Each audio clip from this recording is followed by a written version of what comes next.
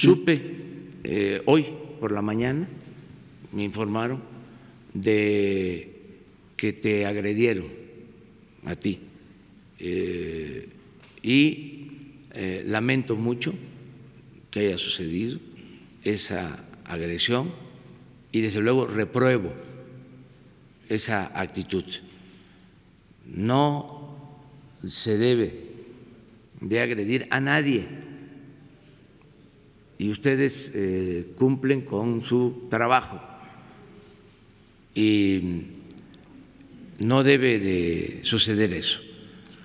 Presidente. Eso, en vez de ayudar, perjudica. Eso si este, eh, lo hacen ¿no? supuestamente para ayudar a nuestro gobierno, yo digo aquí que en vez de ayudarnos, nos afectan